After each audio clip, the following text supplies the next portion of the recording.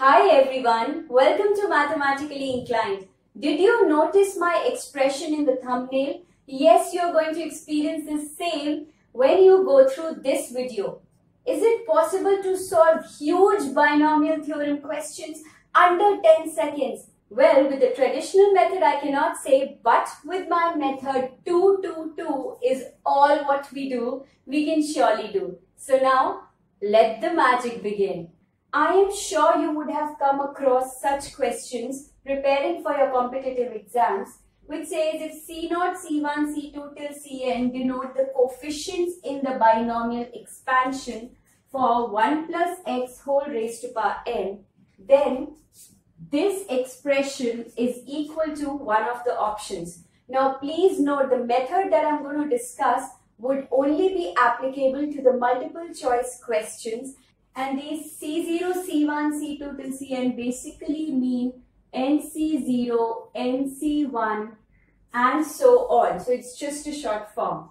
You would have gotten the hint by now. 2, 2, 2 is all what we do. Simply take your n equal to 2. The moment you take n equal to 2, please note this doesn't mean that you have to take only the first two terms. This basically means you have to consider the terms till the time your n and the number over here they match. Yes, for this question, coincidentally it happens to be the first two terms. So basically, I will consider NC1 plus 2 times NC2 where I replace this n with 2 and this one with 2. We don't go any further because we cannot talk of 2C3 from your basic knowledge of permutations and combinations. So, on simplifying, you always know NC1 is N and NC0 or NCN is always 1. Keep these things in mind so you can do it mentally. So 2C1 gives me 2 plus 2 into 2C2 would be 1. On calculating, you get a 4.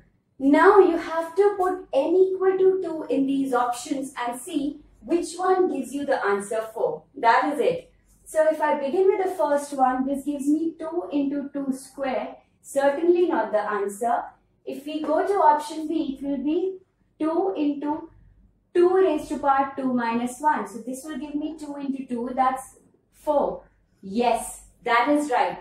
Still to be sure, you can go ahead and check more options. So this will be 2 raised to the power 2 minus 1 which will be 2 and this will be 2 minus 1 that's 1 to 2 raised to the power 2 minus 1 again 2. So that's your answer and trust me it doesn't take more than 10 seconds. In fact at times it doesn't even take that much. Please have a look. Look at question 2. It says again if C0, C1 till Cn denote the coefficients of the same binomial expansion then what would this expression be? I've already fixed n equal to 2 for you, but please note once again I'm saying it doesn't mean two terms. It means till the time your n and 2 would match. So here if you see, if I start writing, this is nc0 plus 2 times nc1 plus 3 times nc2. Why did I take the third term? Because if I replace n with 2, then this is 2C0, 2C1 and 2C2. So basically we have to go up till a point where these two match. Now simplifying this very quickly, 2C0 obviously has to be 1 plus 2 times 2C1 is 2 plus 3 times 2C2 would be again 1. So in simplifying this is 1 plus 4 plus 3 so answer is 8. Now all you need to do is get that answer 8 from the options. So this will be 2 into 2 raised to power 2 minus 1 would certainly not give us an 8. Here this will be 2 plus 1 that's 3 into 2 that gives us 6 certainly not the answer. Third 2 plus 2 gives us 4 into 2 raised to power 2 minus 1 is 8 and bingo that's the answer. Please have a look.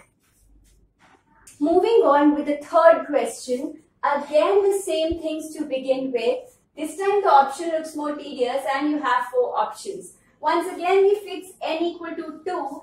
Here a and b are just constants. if I begin with A into 2C0 plus A plus B into 2C1, you know you will have to take one more term to match 2C2. So this will be plus A plus 2B into 2C2. Now this gives us 2C0 would be just 1. So A plus A plus B, 2C1 would give us 2 and this will be A plus 2B.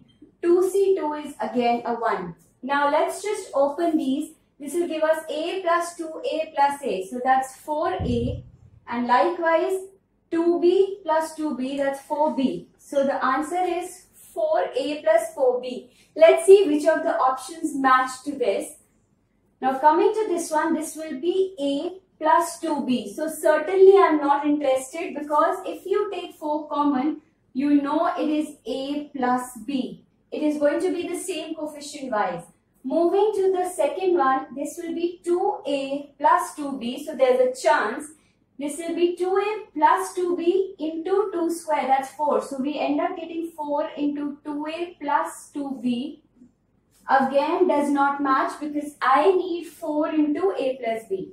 Moving to the third one, this gives us A plus 2B. So certainly out of question. And the last one, it is 2a plus 2b into 2 raised to power n minus 1. So 2a plus 2b into 2 raised to power 2 minus 1 is 2.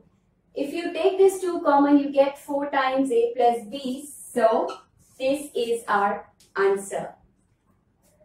Coming to the fourth one, Again, you have the same kind of beginning, but it says then C0 upon 1 plus C2 upon 3 plus C4 upon 5 and so on is going to be one of these.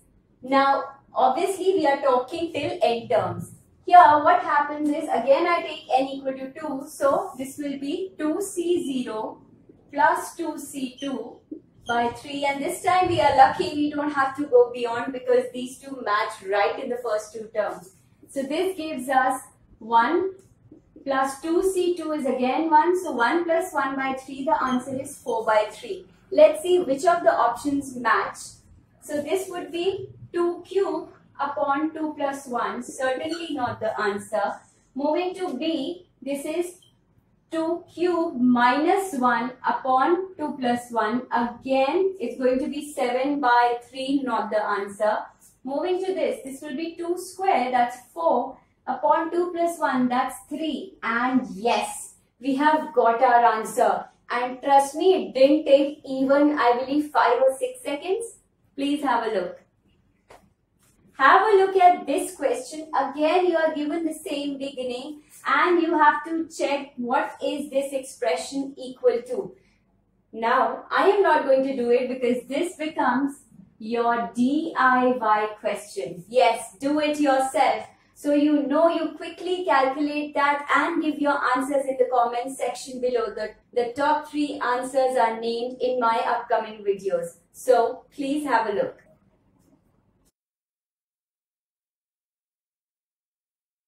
I am more than 100% sure that you absolutely love this trick. If yes, then make sure to give this video a big thumbs up Share it with all the people around you and if you haven't done that so far, make sure to subscribe to my channel for many more math videos.